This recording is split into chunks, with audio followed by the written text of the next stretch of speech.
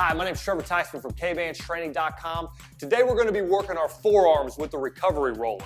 By increasing blood flow, we're going to help alleviate pain in our wrists as well as our forearms and even up towards our elbows.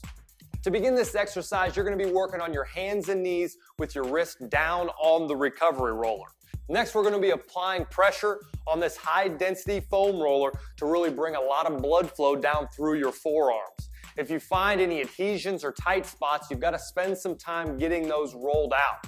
First, you're gonna begin on all fours facing the high density foam roller.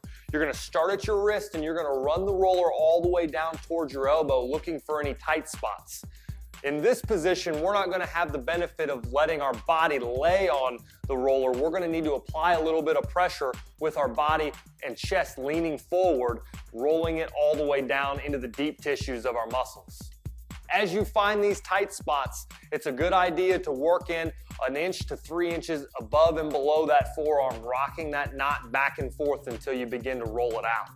Complete the same exact sequence on this side of your arm, rolling the entire arm and then stopping in places that you find any tension.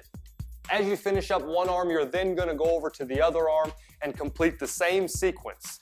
The best way to roll your forearm is to work on the edge of the foam roller so that you can really use that corner to dig in. Also play with the distances the recovery roller is from your body. Sometimes it's a little bit easier to roll certain spots with your arm farther in front of you. As you get more comfortable with the recovery roller, you're gonna notice that there's also tight spots and muscles that are close by.